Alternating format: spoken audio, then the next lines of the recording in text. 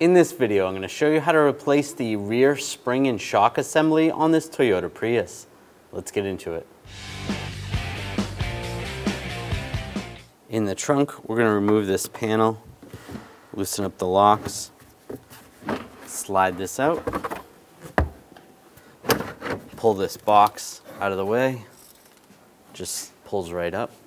I'm going to remove these bolts on both sides for this panel. Use a 10 millimeter socket.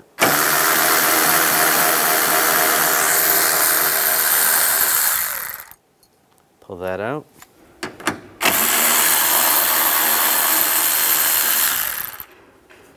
Now just grab this panel, pull it straight up. It is velcroed to the back of the seat.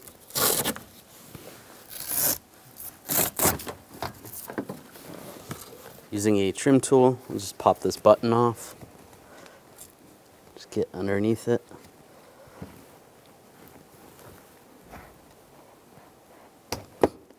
Like that. You can move it out of the way completely. Grab this panel, slide that out of the way. Down here there's a plastic nut. Use a 10 millimeter socket, take that off. Grab that panel, slide it aside this piece right here, just grab this, push it in a little bit, and then it slides outwards. There's just a couple clips, and it slides in. Using a trim tool, just get underneath here, and just pop this up.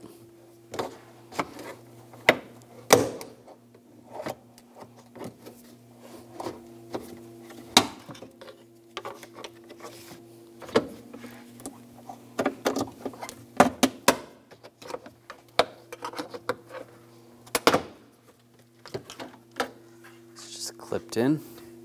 Remove this hook right here. I'm just going to use a trim tool. There's a little slot in the tab. Just slide that in, pop the center out, then the rest of it pops out. Using a 10 millimeter socket, take this bolt out. Take this bolt out down here.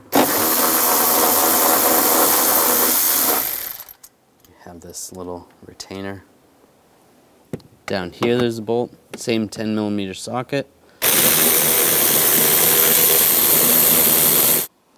Slide that out. Grab the panel, just pull it out. If you need a trim tool, you can use a trim tool.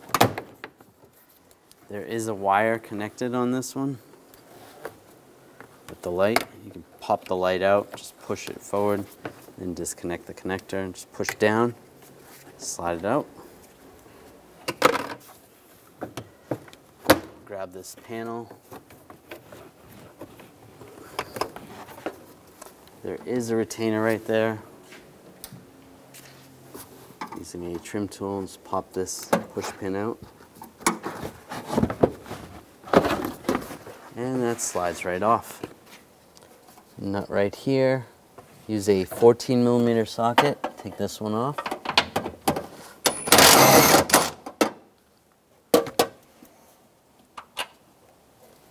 Using the same 14 millimeter socket down here. There's a nut. Take that off. Might need a magnet to access it. Underneath the vehicle, you want the tire hanging because we are going to pull the spring and shock out um, and you don't want the vehicle to collapse on itself. So with the vehicle, the rear wheels hanging, I'm gonna put a pole jack underneath here just to support it because when I pull this out, this could fall a little bit. It's not gonna fall much, but at least have it supported. But don't have the weight of the vehicle on the wheels. Using a 19 millimeter socket, take this nut off.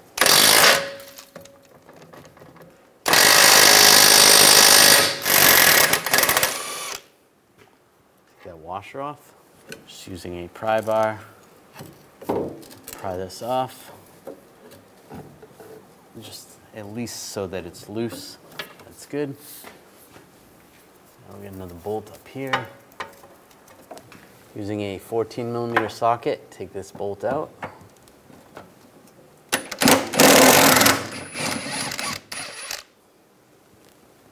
Slide that out. Just lower the pole jack a little bit.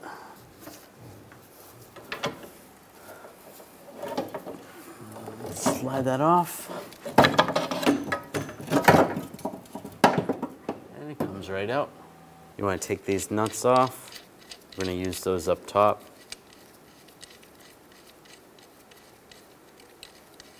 Just the two on the side of the mount. Take the spring and shock assembly and put it in a spring compressor and compress the spring. We're going to take the nut off, use a 17 millimeter wrench and a 6 millimeter hex socket just to hold the, the stud from spinning or the shaft. Loosen that nut up.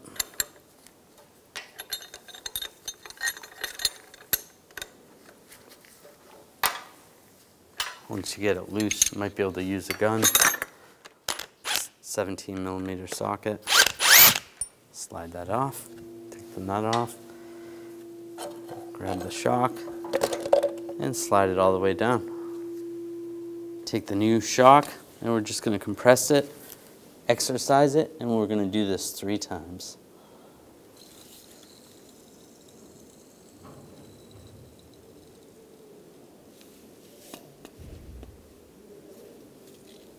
Take this nut off and then leave this spacer on. Slide it through the spring. Make sure the dust boot goes over. Go through the center of that.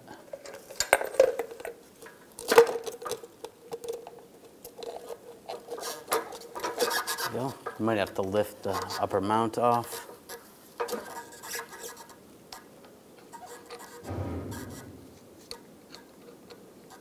Put the nut on. Now using an 18 millimeter ratchet wrench and the same 6 millimeter hex socket, snug this down.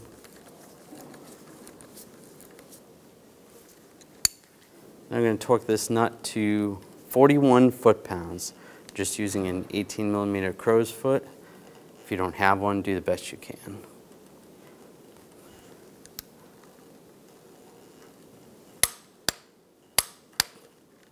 Make sure everything's lined up with the spring and the shock down below, and then you can remove it from the compressor and install it in the vehicle. Slide the spring assembly in place. Try to get the studs lined up. We'll go over the stud on the bottom.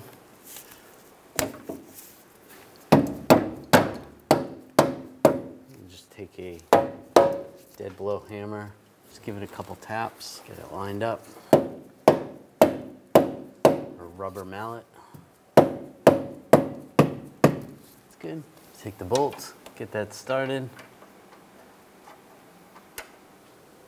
Tighten that down.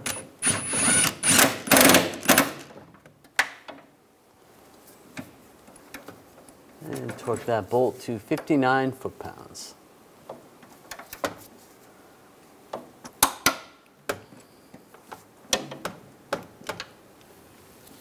the washer on and the nut. Tighten this down.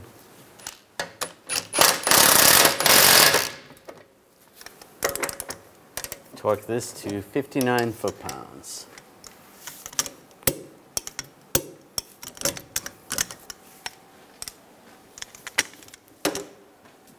Lower the pole jack.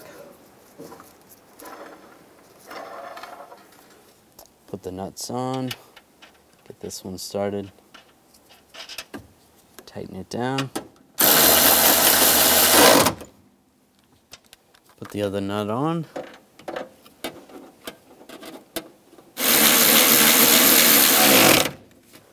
Torque that to 59 foot-pounds.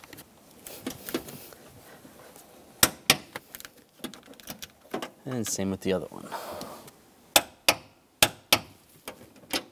Now take the panel, slide the front part in, make sure you slide the seat belt into the slot.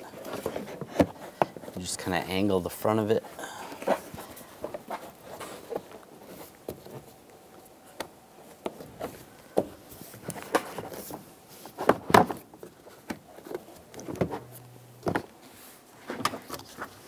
Take the wiring harness, go through there, take the light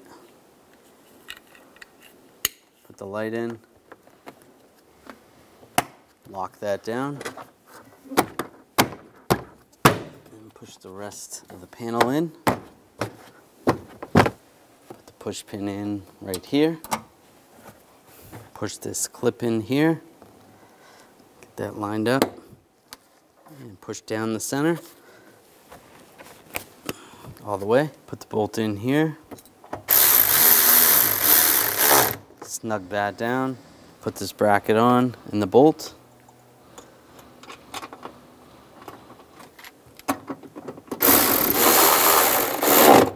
Snug that down. Take this longer bolt, get that started. Tighten it down. Take this bucket, line that up. Go over the stud and then take this plastic nut, push it all the way down. Take the cover, put that in place. Take this cover, line it up.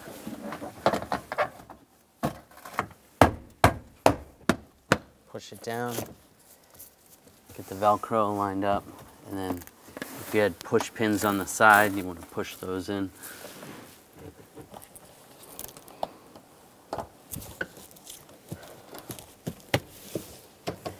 Put these clips in.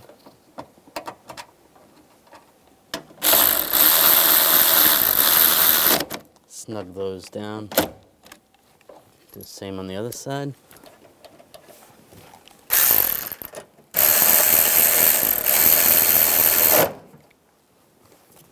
Take this panel, line this up, lock it down. This little cover, there's a couple clips in the front that have to be slid in first and then pushed down. Put this bucket in place. Line the cover up, slides in the front first, then push it down. and lock it in place. After finishing this installation, it's important to have an alignment done on your vehicle. When only the best will do, demand TRQ. The only company that lets you view before you do. TRQ is committed to offering the highest quality aftermarket auto parts that are engineered for peace of mind. Thanks for using and viewing with TRQ.